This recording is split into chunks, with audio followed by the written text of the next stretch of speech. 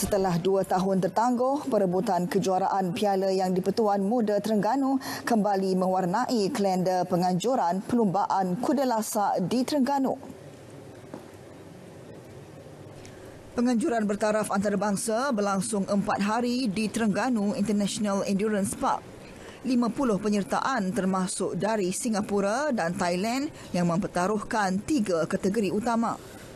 Menambah prestij penganjuran, Sultan Terengganu Sultan Mizan Zainal Abidin berkenan turut sama beraksi mewakili pasukan Royal Terengganu Endurance Stable bagi acara CE1 100 km.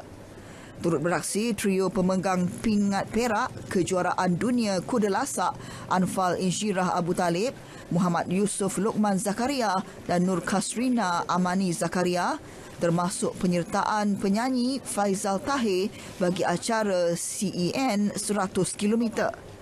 Pasukan Royal Terengganu Endurance Stable dinobatkan juara.